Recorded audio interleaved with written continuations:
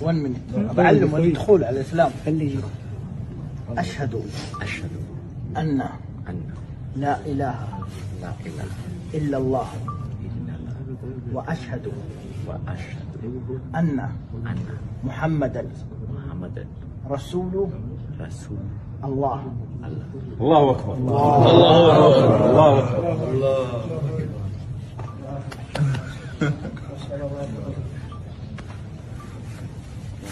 Oh.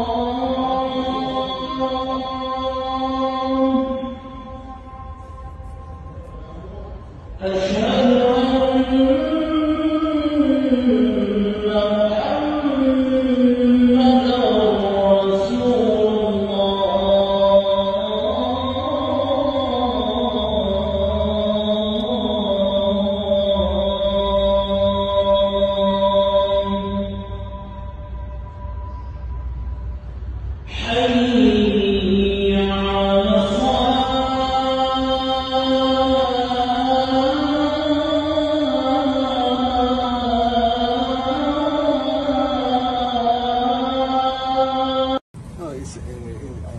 eh, try to understand you about you are talking right now. I, I, I learn the, the Quran. Yeah. I learn a lot of in internet, but you don't feel the same if you share with the own people Yes. in, in, this, Yes. in this place. Yes. You feel different reading internet that stay in this place talking with you mm. and with my partners. Mm. And this is the reason that we, we stay here to feel the, your religion, your story, and integrate together mm-hmm. as persons, as people, a human being. Yes, but when you uh, go deeper, go deeper and know more, yeah. and uh, know what we do here, why we here, what we say. Okay. the imam, this, Yes, this person, yes. what he talk, uh, We can understand the. Quran, you know, understand, it will be changed. It- your life will be changed Okay. to the to the best.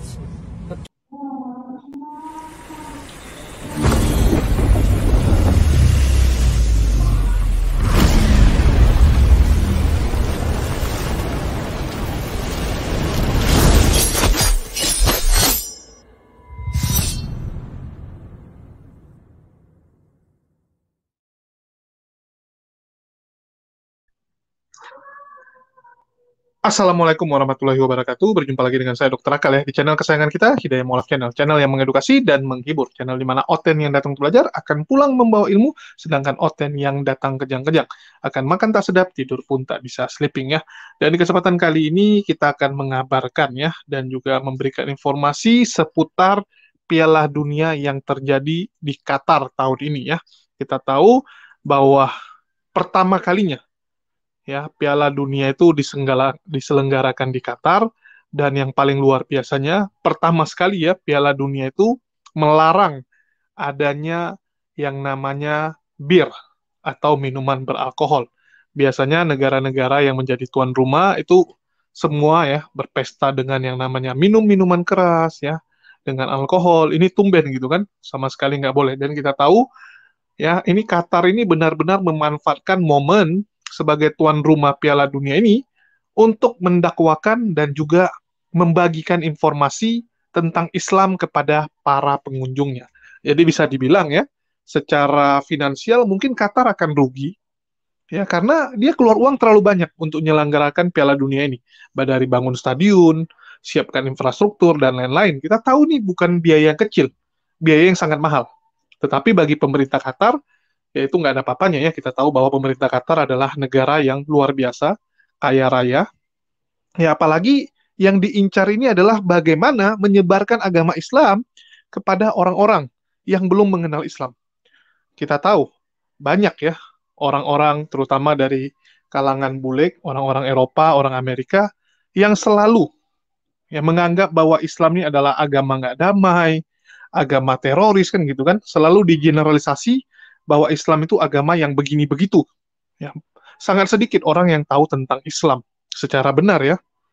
Itu bisa kita lihat ya kalau ada survei-survei sosial eksperimen di Amerika dan juga di Eropa ya kalau mereka sudah dengar Islam itu yang terbayang di otak dia selalu perang ya selalu bom kan seperti itu nah jadi ini adalah waktu yang uh, apa ya sangat tepat untuk menyiarkan Islam karena mereka yang datang sendiri karena kalau kita yang jelasin susah gitu tapi ini kan mereka datang sendiri ke Qatar mereka lihat dengan mata kepala sendiri bagaimana indahnya Islam.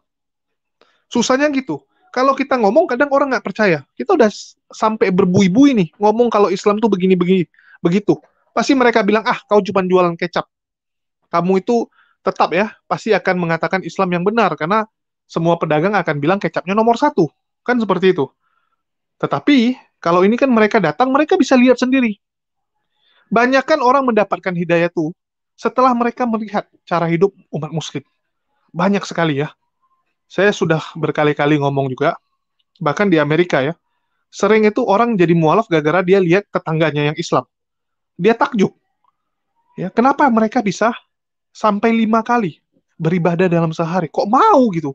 Kok mau? Kami aja malas gitu.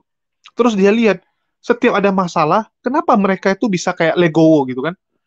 Misalnya ada musibah, ada anggota keluarga yang meninggal mereka tuh nggak sampai bersedih-sedih kali ya, sampai uh, mabuk-mabuk sampai berbulan-bulan bahkan bertahun-tahun gitu kan. Kan banyak kita lihat ada orang yang misalnya ditinggalkan oleh anaknya. Anaknya meninggal terus dia stres, nggak kerja, minum, mabuk aja. Yang muslim kok bisa santai gitu kan? Kok bisa gitu? Apa ya rahasianya gitu? Begitu juga kalau lagi kena musibah gitu, mereka cepat untuk bangkit. Itu membuat orang penasaran. Begitu ditanya, eh rupanya rahasianya agamanya. Agamanya mengajarkan hal-hal yang membuat dia kuat, hal-hal yang membuat dia menganggap bahwa dunia ini ya cuman tempat ujian, cuman sementara gitu. Jadi mereka nggak mengutamakan dunia gitu. Ini yang membuat banyak orang-orang akhirnya sadar, wah ini agama ini benar-benar tuntutan yang luar biasa. Ya, menuntun kita ke jalan yang benar. Tuntunannya lengkap gitu. Nah, jadi begitu mereka datang ke Qatar, ya mereka akan lihat langsung gitu kan, bagaimana yang namanya kehidupan orang-orang yang beragama Islam. Ya, hidupnya gimana? Bahkan mungkin ada yang pertama kali dalam hidupnya mendengarkan suara azan. Karena di negaranya mungkin nggak ada masjid. Atau di kota dia ya, tempat tinggal dia mungkin nggak ada masjid. Ya daerah dia nggak ada masjid. Jadi dia nggak tahu apa itu azan gitu. Baru pertama dia lihat, uh luar biasa gitu. Pagi-pagi orang ini sudah beribadah. Rajin lagi. Gitu. Nah, jadi banyak ya orang-orang yang mendapatkan hidayah setelah melihat langsung. Dan Qatar ya, sebagai tuan rumah saya salut yang diutamakan tuh bukan cari duit, ya, tetapi memang fokusnya tuh menyebarkan Islam. Karena kalau mau cari duit ya harusnya jual minuman minuman keras itu yang paling untung kan. Jual bir itu paling untung, coy. Ya, hiburan-hiburan yang aneh-aneh gitu kan. Ya kita bilang lah itu hidup hidupan apa? Kehidupan yang glamor-glamor itu yang aneh-aneh gitu kan ada penari striptis, ada yang aneh-aneh. Nah, itu yang paling untung gitu, banyak untungnya. Tapi mereka nggak mau, ngapain gitu kan? ya inilah momen untuk mengajarkan Islam kepada para turis-turis. Oke, mungkin lebih cocok bukan saya ngomong ya, entah kenapa saya merasa kalau cara saya menyampaikan masih sangat kurang, ya kita akan dengar ya, salah satu saudara kita yang menjelaskan saya rasa sangat luar biasa, dan ini wajib ditonton oleh teman-teman ya, biar teman-teman terbuka. Oke, makasih buat teman-teman yang udah nyimak, kita dengarkan dulu pemaparan dari Fuli ya.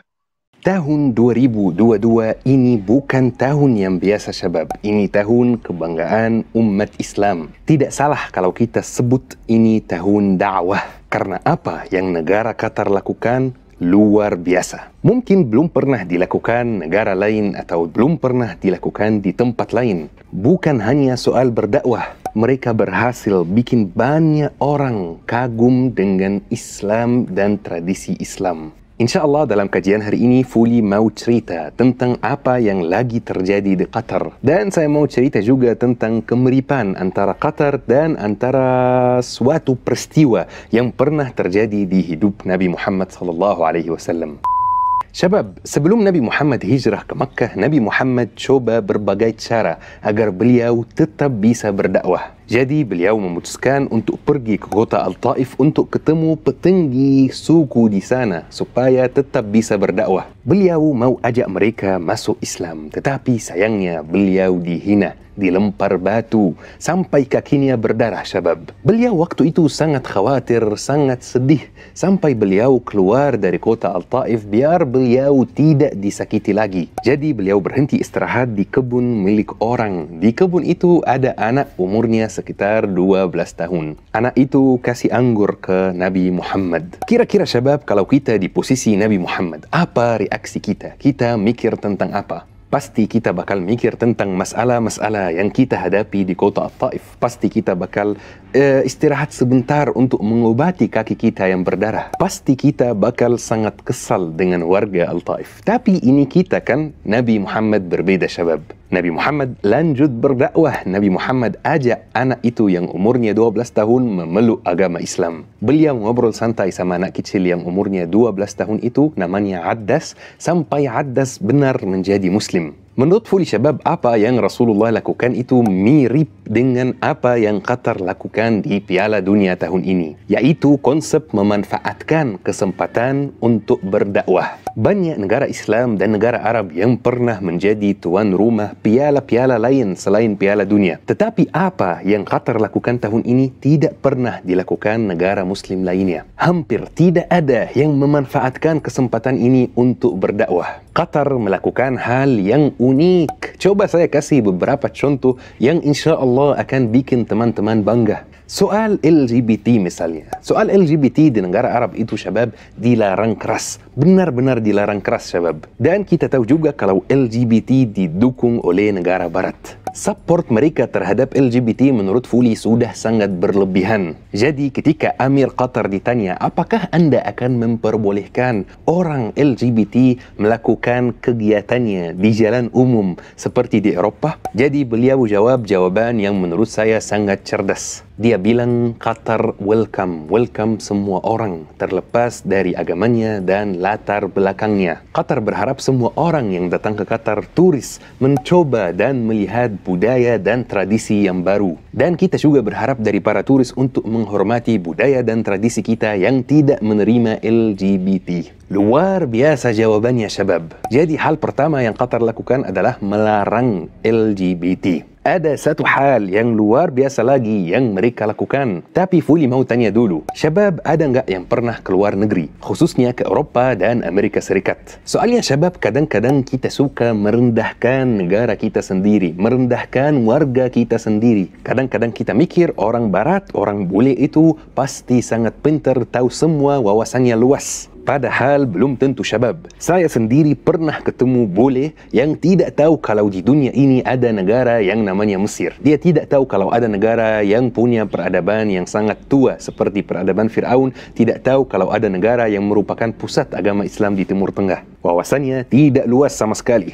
Jadi sebenarnya mereka seperti kita. Ada yang wawasannya luas, terdidik, tahu banyak informasi. Dan ada juga yang biasa saja wawasannya terbatas. Dan saya bisa memastikan kalau mayoritas warga Eropa dan warga Amerika Serikat wawasannya tentang Islam masih kurang sekali. Informasinya tentang Islam masih sedikit sekali. Yang mereka hanya tahu itu misalnya teroris, perang, jihad, beberapa istilah yang kurang tepat.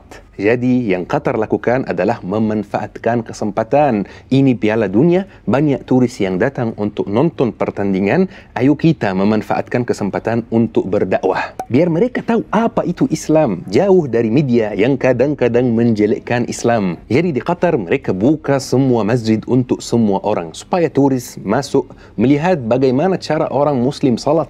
Di sana banyak orang yang hidup dan mati tanpa melihat sekalipun orang muslim salat. Di Eropa dan Amerika Serikat maksud saya. Pas mereka di dalam masjid, mereka disediakan guide yang bidangnya adalah dakwah. Dia bercerita tentang Islam dengan cara yang lembut. itu hasilnya luar biasa syabab. Banyak orang masuk Islam, banyak yang mualaf, Masya Allah, luar biasa. Sebenarnya tidak ada data resmi berapa orang yang masuk Islam di sana, tetapi yang pasti insya Allah lebih dari seribu orang. Ini misalnya video dari Qatar, satu keluarga dari Brasil, enam orang semuanya masuk Islam. Allah ilaha illallah wa ashadu anna محمدا رسول الله. الله أكبر. Selain itu syabab, kalau ada yang kerja di bidang ekonomi, dia pasti tahu kalau menjual minuman beralkohol itu ke turis, itu profitnya sangat tinggi. Profitnya sangat tinggi buat restoran yang dikunjungi setiap hari 10 apa 20 turis gitu. Apalagi ratusan ribu orang yang datang ke Qatar untuk menonton pertandingan bola. Pasti profitnya luar biasa, pasti profitnya sangat tinggi. Walaupun itu mereka melarang minuman beralkohol. Masya Allah, saya sangat bangga. Saya sangat bangga sebagai orang Muslim syabab. Karena mereka tidak takut menyampaikan ajaran Islam. Mereka tidak takut dijudge kurang terbuka. Allahu Akbar. Dan ada yang lebih keren lagi menurut saya. Mereka taruh barcode di setiap hotel. Ketika barcode itu diskan oleh turis muncul halaman yang isinya informasi tentang Islam. Apa itu Islam? Apa yang orang Muslim sembah? Dan banyak jawaban dari pertanyaan yang sangat bermanfaat.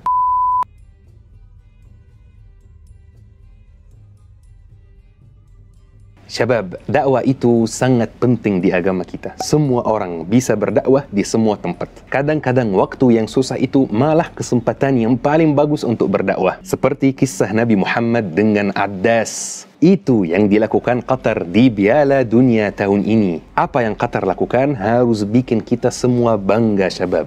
Karena mereka sebenarnya tidak mengikuti standar barat yang berbeda dengan standar Islam. Di barat, mereka punya standarnya sendiri. Mereka bebas, kita tidak maksa. Tapi kalau sudah di negara Islam, harus mengikuti standar Islam. Alhamdulillah saya bangga tahun ini dengan apa yang dilakukan Qatar. Dan saya yakin banyak syabab juga ikut bangga. Semoga negara Qatar tetap damai, semoga negara tercinta Indonesia tetap damai juga. Ayo kita meniru Qatar dan memanfaatkan kesempatan untuk berdakwah. Semoga video hari ini bermanfaat syabab. Syukran. Wassalamualaikum warahmatullahi wabarakatuh.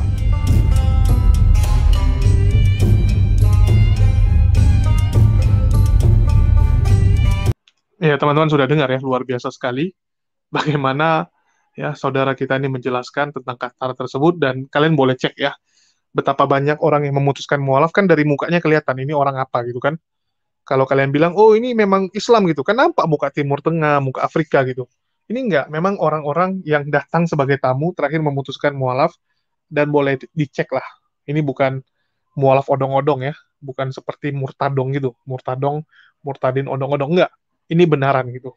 Ya kalau nggak percaya ya kalian mungkin ke sana aja, masih ada waktu ya. Piala Dunia masih menyisakan kurang lebih seminggu lagi. Masih sempat lah datang ke sana untuk lihat-lihat sekaligus kalian melihat langsung ya bagaimana orang-orang terkesima dengan Qatar sebagai tuan rumah. Ya, nggak nyangka juga gitu. Dan ini mungkin jadi satu pelajaran juga bagi negara-negara Muslim lainnya ya. Kalau dipercayakan sebagai tuan rumah event-event yang berskala internasional, ya nggak ada salahnya sekalian menunjukkan lah. Selain menunjukkan negaranya, menunjukkan keindahan pariwisata negaranya, ya sekalian juga menunjukkan ya bagaimana Islam itu apalagi kita tahu ya kalau negara-negara yang mayoritasnya muslim itu kan benar-benar menjalankan syarat Islamnya luar biasa. Kalau Indonesia ya bukan negara muslim nih, tapi kan kita ini negara mayoritas muslim. Harusnya kita juga bisa menunjukkan bagaimana sikap dari seorang muslim itu. Jadi itu saja yang bisa saya sampaikan. Makasih buat teman-teman yang udah nyimak. Semoga apa yang kita sampaikan ini menjadi ya ilmu ya bagi teman-teman yang menonton. Hanya itu yang bisa saya sampaikan. Makasih buat teman-teman semua yang udah nyimak. Di akhir kata saya ucapkan, wassalamualaikum warahmatullahi wabarakatuh. Sampai jumpa di video-video kita berikutnya.